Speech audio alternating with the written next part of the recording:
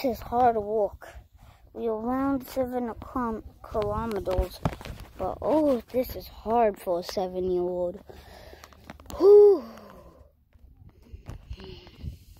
My feet are killing me. At least I get new running shoes out of it. But wow, is it beautiful? Yes, it might look like a lot of work, but it's worth it. Definitely. It's perfect. Perfect. okay.